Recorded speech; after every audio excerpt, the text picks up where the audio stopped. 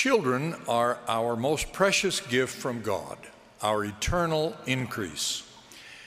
Latter day Saint women understand that being a mother is their highest priority, their ultimate joy.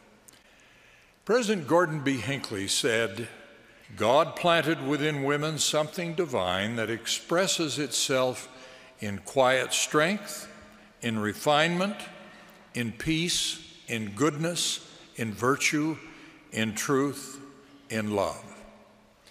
And all of these remarkable qualities find their truest and most satisfying expression in motherhood.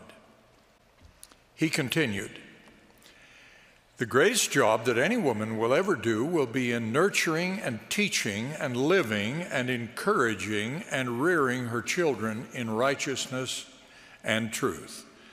There is no other thing that will compare with that, regardless of what she does. End of quote. President Russell M. Nelson said, The kingdom of God is not and cannot be complete without women who make sacred covenants and then keep them women who can speak with the power and authority of God.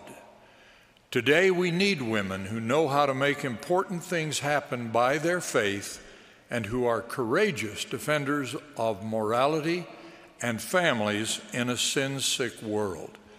We need women who are devoted to shepherding God's children along the covenant path toward exaltation, women who know how to receive personal revelation who understand the power and peace of the temple endowment, women who know how to call upon the powers of heaven to protect and strengthen children and families, women who teach fearlessly. End of quote.